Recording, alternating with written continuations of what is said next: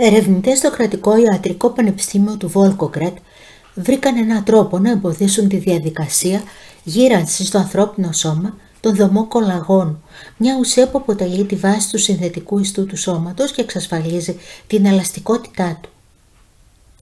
Αυτό ανέφερε ο Διευθυντής του Επιστημονικού Κέντρου και Ανατόμων Φαρμάκων του Κρατικού Ιατρικού Πανεπιστημίου του Βόλκογκρατ και διδάκτορα φαρμακευτικών επιστημών Ντένις Μπάμποκοφ με τη γύρανση καθώς και με διάφορες ασθένειες, ειδικά τον σαχαρόδι διαβήτη, συσσωρεύονται ουσίες του ιστούς που διαταράσσουν τη λειτουργία τους. Μεταξύ των κυτάρων υπάρχει κολαγόν, μια πρωτεΐνη που αποτελεί τη βάση των συνδετικών ιστών του σώματος, ιδιαίτερα του δέρματος, των τενόντων, των αιμοφόρων αγγείων και του αρθικού χόνδρου και είναι επίσης υπεύθυνη για την κανονική λειτουργία τους. Συνδέουν σταυρωτά τα νήματά του και το αποτέλεσμα είναι ένα πλέγμα που είναι πιο άκαπτο από ό,τι χρειάζεται το σώμα.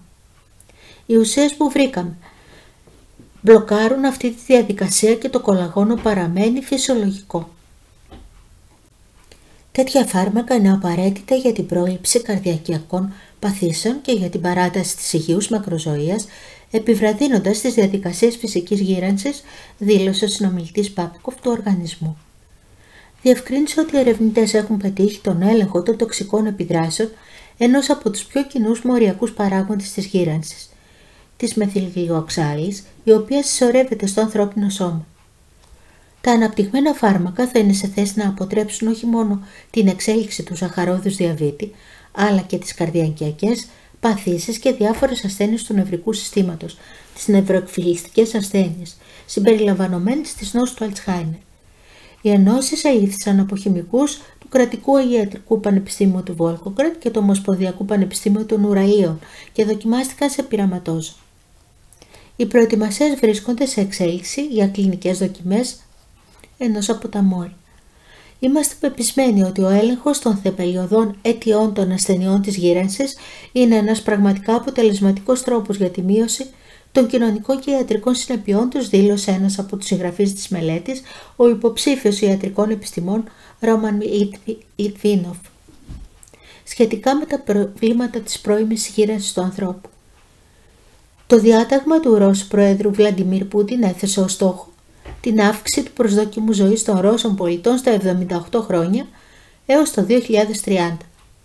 Υπό την ηγεσία του ακαδημαϊκού της Ρωσικής Ακαδημίας Επιστημών Αλεξάνδρ Σπάσοφ, στο Κρατικό Ιατρικό Πανεπιστήμιο του Βόλκοκρατ, ειδικοί από τους τομείς της κβατικής χημίας, της μοριακής βιολογίας, της φαρμακευτικής χημίας, της βιοχημίας και της φαρμακολογίας, διεξάγουν έρευνα σχετικά με νέες μεθόδους αποκατάστασης της ενδοκυταρικής ουσίας του σώματος από βλάβες από διαδικασίες γύρανσης για περισσότερα από 5 χρόνια, με βάση το Επιστημονικό Κέντρο Καινοτόμων Φαρμάκων.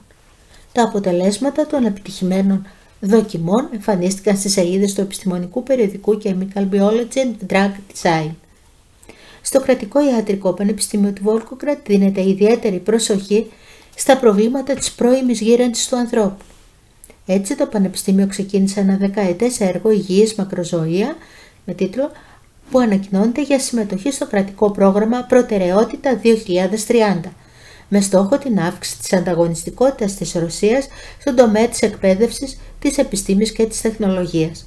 Ο στόχος του έργου Healthy Longevity είναι να επιβραδύνει τη διαδικασία γύρανσης ενός ατόμου μέσω της ανάπτυξης αντιγυραντικών φαρμακολογικών φαρμάκων και ανωτόμων μεθόδων στον τομέα της κλινικής ιατρικής, της οδοντιατρικής και της ψυχολογίας.